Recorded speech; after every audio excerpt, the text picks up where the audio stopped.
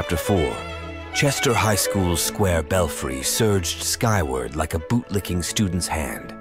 Shouldered on Terrace Hill, you could see it from just about every place in town. Its lustful eye glared back. The rosette at the top scoured the city. Several bricks and a couple ledges below, a concrete panel stretched above the entryway, the school's name and date chiseled inside. Wooden doors with paned windows sunk into a ribbed vault. Above, a stained glass window shimmered a torch embraced by Greco-Roman wreath. The belfry was the totem of West Willow's school system. All kinds of gimmicky junk featured a logo with the tower. Education blossomed, nourished with fiscal caveat fodder. Employees were paid well. Students enjoyed updated textbooks and technology, and the buildings received abundant renovations. In addition to the tax revenue his businesses provided, Caveat created numerous foundations and endowments. Spencer and Jewel trotted up the three levels of stairs. Tiered plant beds and landscaping rock groomed the ascent. From each side of the belfry, the school stretched in both directions, dotted with windows. Hey guys, RJ greeted the two near the American flagpole. The state flag waved at the other side of the stairs. What's up? Spencer asked. not much. You ready for the first day? I guess. You guys meeting with Rachel? RJ's voice crackled. Yes. Jewel rubbed RJ's back. You going to join us? No. My dad wants to have lunch with me. Why? We might figure out what really happened. Spencer said. I think that's why my dad wants to eat with me. He doesn't think I'm ready to hear it. I get that. Spencer trotted to the door at the ring of the bell. Normally, the teens were not so anxious to meet the informant. Actually, the informant's daughter. That day was different. They could only imagine the slurs spoken against their friend. Still, good information might put a murderer behind bars. Don't cross your fingers. Even though the informant put his life in danger on a regular basis, none of his tips led to a prosecution of Caveat or his associates. Not the kind of guy you'd expect for principled work. Well, maybe I could see him as a snitch. You can decide for yourself whether the alcoholic beatnik was an honorable man. But considering his willingness to put his life on the line, Jewel and Spencer respected him. Sort of. Since dirty cops carried a cheaper price tag than an ink-stained thrift store suit, Detective Ingram felt it necessary to avoid direct contact with the informant. So, he created a mealy-mouthed link. Jewel and Spencer formed a bond with the informant's daughter, Rachel O'Reilly. It was secret and often played out under the guise of teenage cruelty. Augustus, Gus, O'Reilly worked at one of Caveat's factories. The factory seemed a legit organization and was partly. Its daytime manufacturing operations produced packaging for baseball cards. I had a hard time believing they devoted an entire factory to that. At night, however, the plant became a processing center and packing point for illegal drugs and goods. Gus befriended some low-ranking soldiers, using his relationships to gain information. He hung out with the guys at bars, and in their drunken blatherings they often spewed a caveat plot. These friends recommended Gus for a provisional soldier position after he was arrested for DUI. His third, a man in trouble with the cops, proved a good candidate. Word hadn't reached him about his consideration. Finished with morning classes, Spencer parted the crowded hall. The top of his spine surged a depressed numbness. Hey, Spencer, a fellow wrestler greeted. Sorry to hear about Trace. Thanks. Spencer nodded, tapping his teammate's shoulder with his fist. How's RJ? As good as can be expected. I'll bet you wished he got him. Huh? Trace, you'd like to have seen. Hey, uh, let's not go there. Oh, yeah, sorry. You're right, though. Spencer sauntered through the lunch line, accepting condolences from the random students that felt compelled to say something. With the food slopped on his plate, he spotted Jewel pecking at her food. Their table, opposite the windowy hall, was dim, yet private. Neither of the two were a recluse, but most often ate lunch with an intimate group Spencer, Jewel, RJ, and Trace. They'd have to get used to meeting without Trace. Spencer pulled his chair out and scanned the cafe. You see Rachel? No. Spencer sat. You get enough of people saying, uh, sorry about Trace? What else are they supposed to say? Nothing. Jewel shrugged. Can I sit down? An aloof voice asked. The two twisted. A strand of a girl held a tray at what should have been her hips. Her face, pale and sharp, beamed past her dark hair.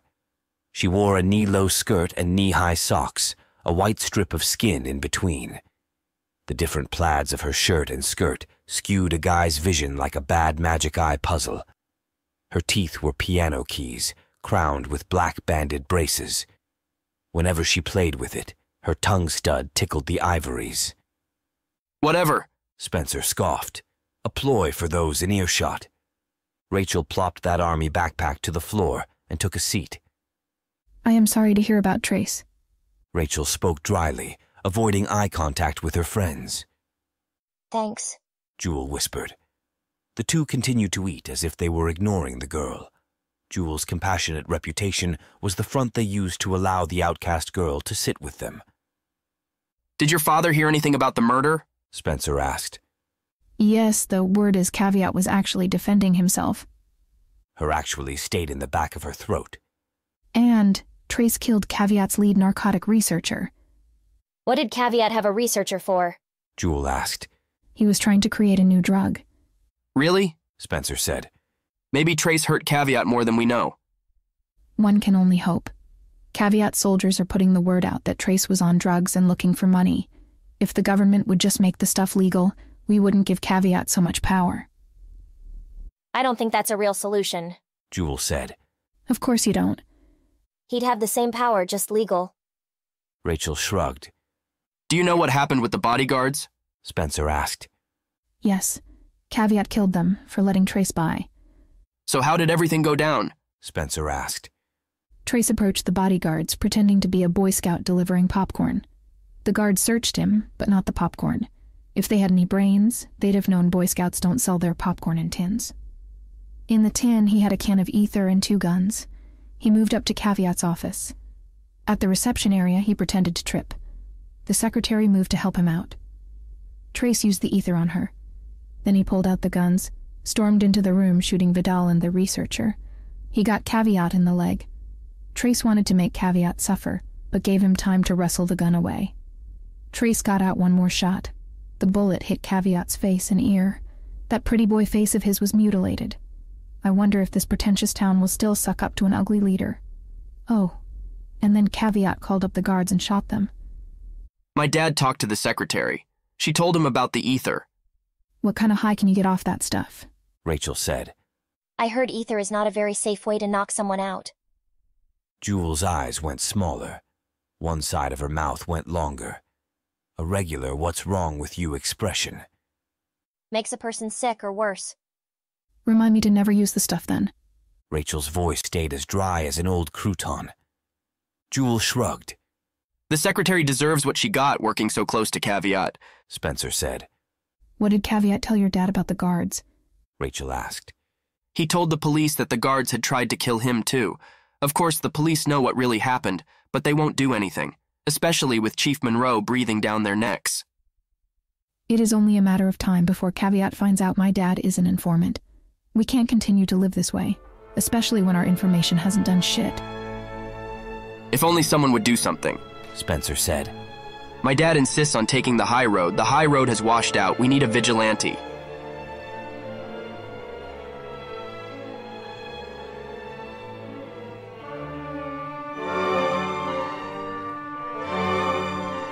Businessman attacked by youth.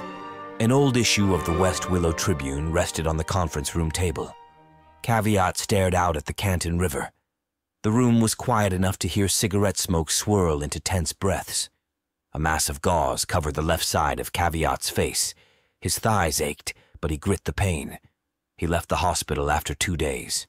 No flesh wounds were going to keep him still, and anger was a more powerful anesthetic than any prescription. As Caveat pictured images of his marred face, a vengeful resolve churned. Unfortunately, or fortunately, all parties responsible were dead, at least all parties directly responsible. His associates waited at the conference table. Cigarettes and cigars rested on marble ashtrays. Every now and then, a mobster ventured to take a drag. Doubt anyone was too concerned with the anti-smoking workplace regulations. Of course, a city like West Willow had anti-smoking regs. That was the first associate meeting since the shooting. Businessman. Caveat swiveled back toward the table. I'm sure it killed Celeste to write that. A couple henchmen chuckled. Did I say something funny? No, boss. Sorry, boss. Some apologized. I didn't get into this business to kill children. The associates' faces dimmed like a preteen trying to solve a calculus equation. Each of Caveat's associates was present, nine in all, the ones still alive. Caveat liked to have ten, so with Vidal out of the picture, he'd have to find a replacement. But that was in the far reaches of his priorities. Don Pox Pocatello sat at the chair left of Caveat. He slicked his silver hair back. His nose protruded like a big toe. Pox was Caveat's eldest associate. Some claimed he was the most ruthless, definitely the most outspoken. Imagine a grumpy old man with power to do more than just complain. He had a knack for horridly creative tortures. Giovanni Ramon, at Caveat's right, was the quietest of the group. Famous for sudden violent reactions without warning, a guy knew better than to piss off the massive man. He towered higher than the rest of the associates. He always dressed in black, apart from the caveat white tie, that is. With shaved head and Van Dyke facial hair, Ramon was never seen without his shades, even in the darkest of rooms on the darkest of nights. Johnny Venom Ledoux was Caveat's notorious special weapons man. He could find a way to whack any enemy, a way that had staying power. The mob had to make an impression. He was the least professional looking of the group. Apart from Caveat's requirements, the man would have never worn a tie. He had long, greasy hair and face stubble you couldn't really call a beard. In honor of his nickname, a viper tattoo slithered up Venom's neck, fangs flashing. William Blue Cole cut off apple slices with a butterfly knife. He looked like Caveat, but younger. Some wondered if they were related. He was the youngest of the group by far. And yet, he was an old-school mobster. His pinstripe suit and fedora flashed a love of the nostalgic. You'd never catch him without the hat. His nickname originated from his black tie days. He and his extortion partner obtained a reputation for brutality, black and blue. As time passed, Blue moved through the ranks. Black was killed. Even though he co-supervised extortion efforts with Mitchell Julius's Gunderson, no one dare call his new partner black. Neither Blue nor Julius would tolerate it. Julius sat at Blue's side. They called him Julius because he could squeeze info from anyone. He was another bulky figure, but not as massive as Ramon. Whereas Ramon was naturally huge, Julius worked out to build his physique. He was a stringent fitness buff. He ate healthy, lifted weights, ran every other day, and trained in mixed martial arts. His low, rumbling voice intimidated even the bravest of business owners. Thomas Schultz and Jason Street controlled drug distribution and processing. The two joined Caveat's gang on the same day. They were partner drug dealers and gained recognition from Caveat for innovative smuggling ideas. In addition to his role on the city council, Parker Goodface managed properties for Caveat. Charming, articulate, and diplomatic, he easily won elections within his district. He and Vidal had shared the media limelight. But beyond his refined exterior lie a cutthroat politician and a brutal killer. He leaned forward at the conference table, resting his face on his hands. Henry Kahn Phillips headed up money laundering operations. He filtered the money through legit businesses.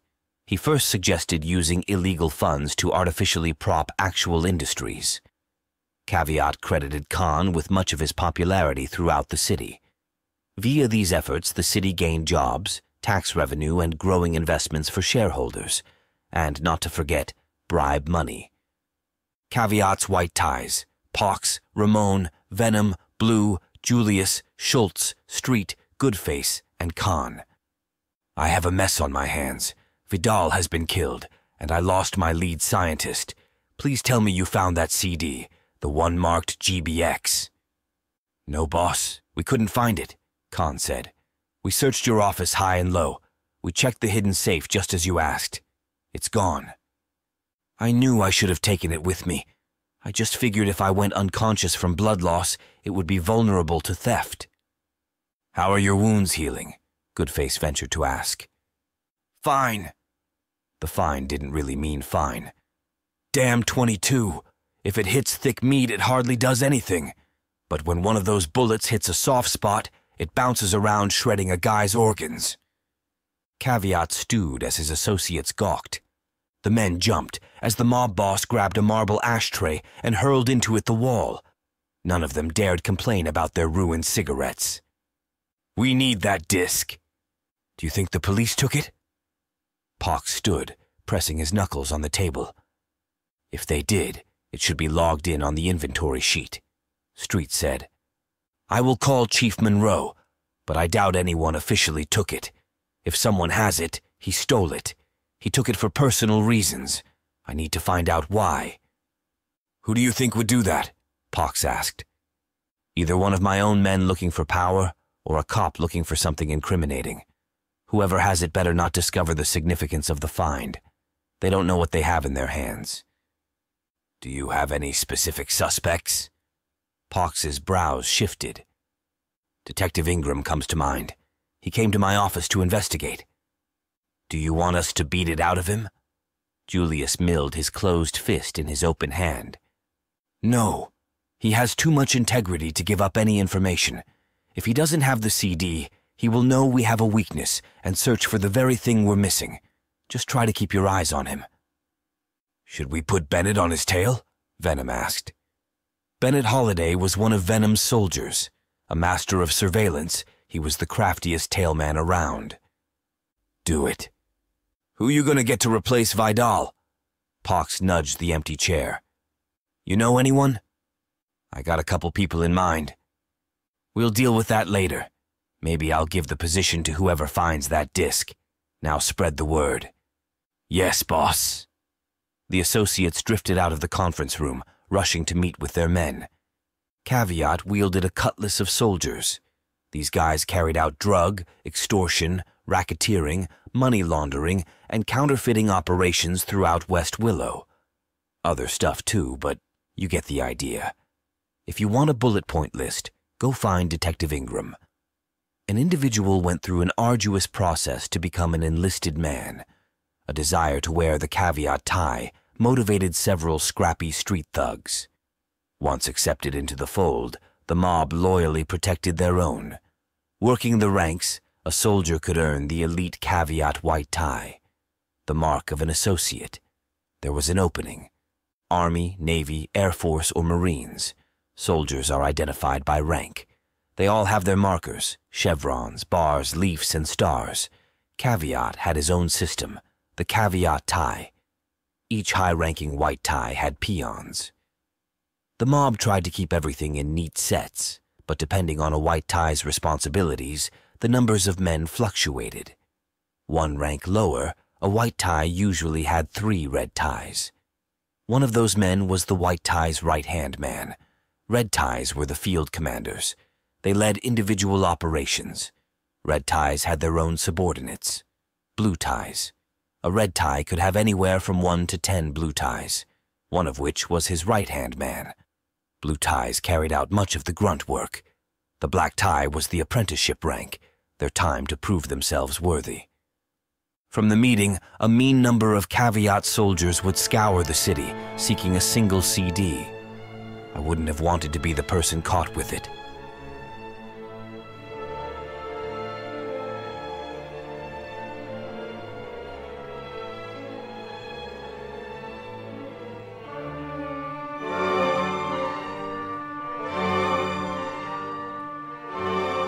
RJ counted cash at the register.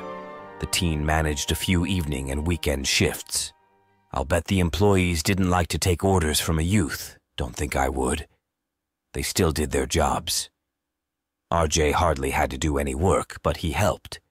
Besides, he would rather do menial tasks as opposed to dealing with the pressure of management, especially when they came in. The entrance bells clanged, its annoying little dingle. Two men dressed in fine suits walked into the diner, a red tie and a black tie. RJ swallowed as the men perched on the stools across from him. Where's JJ? the red tie asked. He's not in. RJ replied. Oh, we're here for the protection payment, the red tie said. The other did not speak. He simply stared. Talk and torment, an old extortion tactic. One man does all the talking, the other looks tough. JJ had warned about Caveat soldiers, how they often extorted the store. They usually stopped in every other week, but were not constrained to a particular time frame and demanded around $50. JJ instructed his son to simply give the men what they wanted and never talk back. That night was his first time dealing with the thugs directly. Protection from what? RJ spit forth a solemn tone that could be mistaken for sarcastic. The two men looked at each other and grinned. The talkative one chimed, Brave boy. There are many shady characters that live round these parts. Wouldn't want to see this place burned down or your employees beaten. Now would we? No, sir. Just give me the $75 and we'll be off. My dad said it was 50. Okay, make it 100. The next time you'll learn to watch your mouth. Yes, sir. RJ gnashed his teeth as he opened the register. Why would this community let people get away with such bullying? He thought as he handed over the cash. The red tie patted RJ lightly on the cheek. Remember, Caveat is a peaceful man. He ain't looking to cause a ruckus, so mind your mouth and we'll all be safe. The two strutted from the building. They chuckled and joked. The bell clanked as the door snapped closed. Having witnessed the episode, Diane trounced over to RJ. What the hell were you thinking? Sorry, I wasn't trying to be disrespectful. I just wanted to know why they want the money. Honey, you already know that. Maybe. RJ closed the register. Why won't anybody stand up to those men?